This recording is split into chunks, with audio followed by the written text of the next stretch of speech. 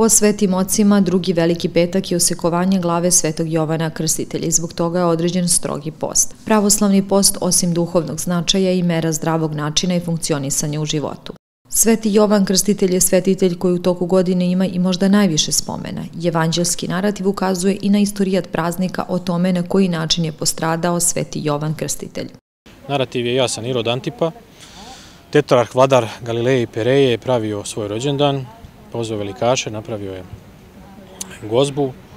Na toj gozbi je učestvovala kćerka njegove nezakonite žene Erodijade, koja je igrala, ugodila gostima na tom rođendanu i naravno kako to inače bude na tim večerama i rođendanima, alkohol, korišćenje alkohola je dovelo od toga da Irod, da kažemo u polupijanom stanju, je obećao šta god bude zaiskala, pa makar bilo je pola carstva njegovog, a njena majka je tražila na, glav, na tanjiru glavu svetoga Jovana Kristitelja, dakle velikog proroka i propovednika, koga Irod čak nije ni želeo da ubije, već se naprotiv sa njim, kao kaže Evanđelje, često i savjetovao u tamnici, često ga rado slušao, ali pošto ima ona izreka stara carska se ne boriče, tako i on je htio da porekne ono što je rekao, pa je ovaj, pogubljen sveti Jovan Krstitelj.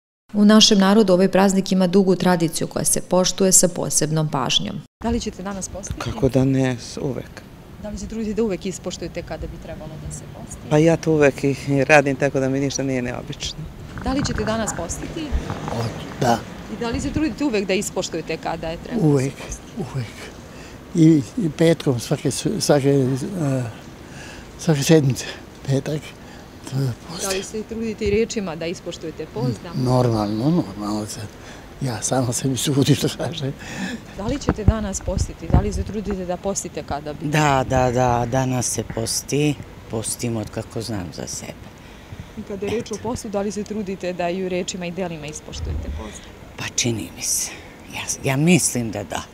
Pored već utvrđenih stalnih jednodnevnih postova koji podrazumevaju sredu i petak i višednevnih poput Vaskršnjeg, Božićnjeg, Petrovskog, Gospojinskog, imamo i postove koji su određeni od crkve da se poštuju određene dane. Naime, nije važno u koji dan pada usekovanje glave svetog Jovana Krstitelja, krstovdan ti dani se poste i to poprilično strogo podsjeća parog pri hramu Vaznesenja gospodnjeg u Čačku Slobodan Jakovljević. Budući da se služi puna liturgija, nije moguće postiti na vodi, odnosno zabranjeno je kanonima postiti na vodi one dane kada se služi puna liturgija, već je danas post razrešen na ulju, ali bez ribe, bez upotrebe ribe.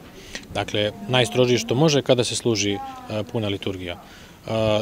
Dimenzija posta je veoma važna u životima pravoslavnih hrišćana. Danas imate mnogo i medicinskih stručnjaka i ljudi koji se bave negom tela, ishranom, koji zapravo i govore da u suštini je pravoslavni post mera i zdravog načina i funkcionišanja u životu. Imamo tri aspekta posta, telesni, duhovni, socijalni. Bitno je da se borimo sa svojim gresima i da ne zanemarimo dobročinstvo. Smisao posta je usmeren na Hrista kako bi post bio potpun i da bi zaslužili duhovnu blagodat.